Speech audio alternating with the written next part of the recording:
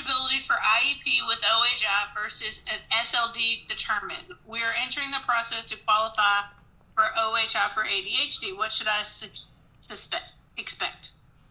Well, you should be suspicious. No, I'm just kidding.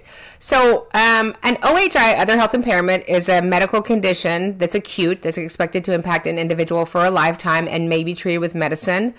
A specific learning disability is a student that has an unexpected um, area of deficit in his cognitive processing and achievement standards.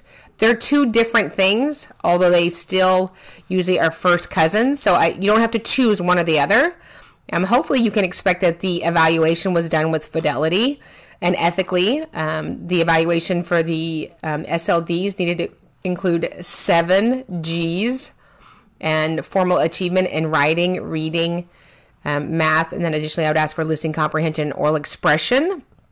ADHD is reported observations on patterns and behaviors of a student that impact their educational day. So it's not one or the other. You want to make sure that you have um, you know, we do evaluations in all areas, so we identify or eliminated any area of um, educational need for your student.